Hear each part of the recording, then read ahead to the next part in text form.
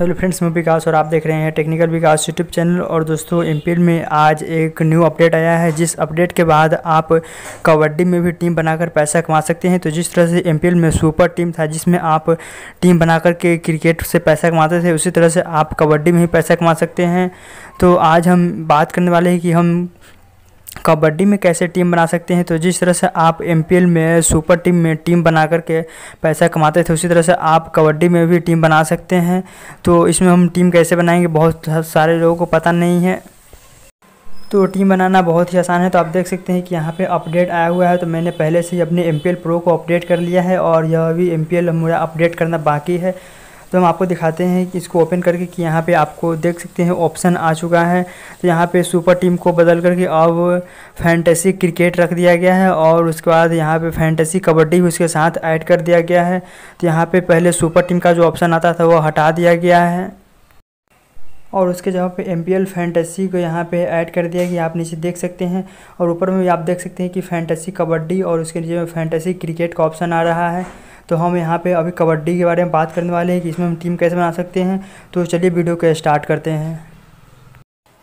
लेकिन इससे पहले अगर अब तक आपने इस चैनल को सब्सक्राइब नहीं किया है तो चैनल को सब्सक्राइब करके नोटिफिकेशन को भी ऑन कर ले और ऑल नोटिफिकेशन पे क्लिक करके नोटिफिकेशन को ऑन कर ले क्योंकि मैं हमेशा आप सभी के लिए यहाँ पे एम गेम से रिलेटेड वीडियोज़ सबसे पहले लेकर आता हूँ। तो आपको कुछ नहीं करना है, आपको टीम बनाने के लिए आपको सिंपली कबड्डी वाले ऑप्शन पर क्लिक करना है फैंटेसी कबड्डी।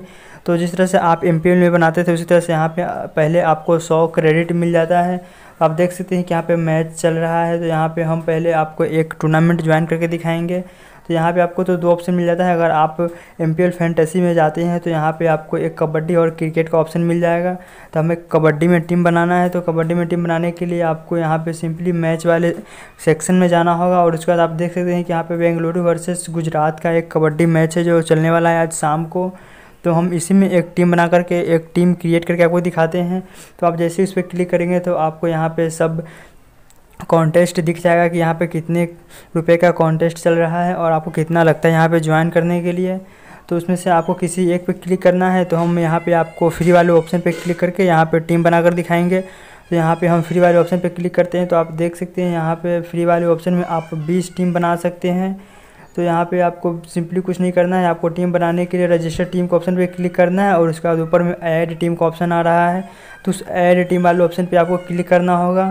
तो ऐड टीम वाले ऑप्शन पे क्लिक करेंगे तो आपके सामने सभी ऑप्शन आ जाएगा। तो हम यहाँ पे ऐड टीम वाले ऑप्शन पे क्लिक करते हैं दोबारा से।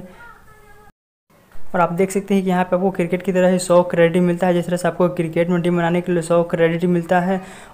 और कबड्डी में टीम्स को तीन पार्ट में बांटा जाता है डिफेंडर ऑलराउंडर और राइडर जैसे कि क्रिकेट में wicket keeper all rounder bowler batsman होता है उसी तरह से। तो आपको यहाँ पे सौ क्रेडिट में ही आपको यहाँ पे टीम बनाना होता है और यहाँ पे आप मैक्सिमम सात प्लेयर को सिलेक्ट कर सकते हैं।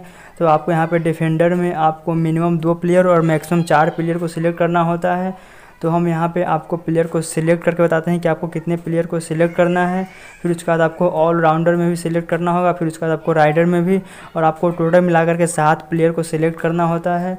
तो हम यहाँ पे पहले तो डिफेंडर में तीन प्लेयर को सिलेक्ट करेंगे, फिर ऑल राउंडर में एक प्लेयर और उसके बाद राइडर में तीन प्लेयर तो हमारा टोटल सात प्लेयर हो जाएगा और हमको सिर्फ़ सौ क्रेडिट ही मिलेगा। उसी में से हमें अच्छे अच्छे प्लेयर को सिलेक्ट करना है। तो हम यहाँ पे डिफेंडर में तीन प्लेयर को सेलेक्ट कर लेते हैं, फिर उसके बाद आपको ऑलराउंडर में आना है।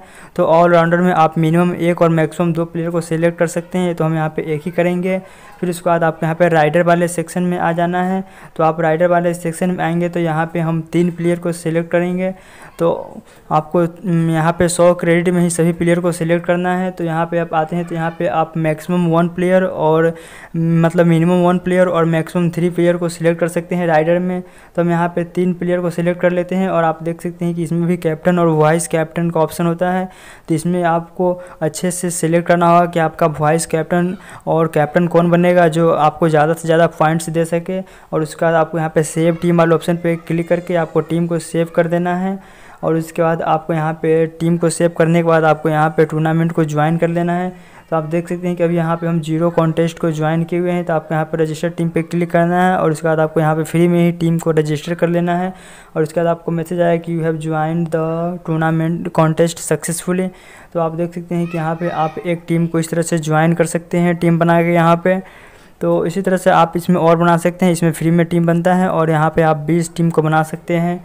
तो आप देख सकते हैं कि यहाँ पे ज्वाइन और हॉटेस्ट में हॉस्टेड में एक टीम मैंने अभी बनाया है तुरंत तो यहाँ पे आपको दिखा रहा है। तो इस तरह से आप एमपीएल के फैंटेसी कबड्डी में टीम बना सकते हैं।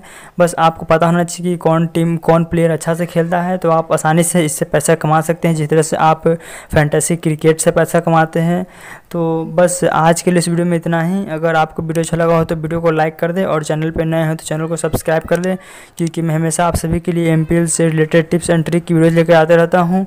तो फिर मिलेंगे एक और नए वीडियो में।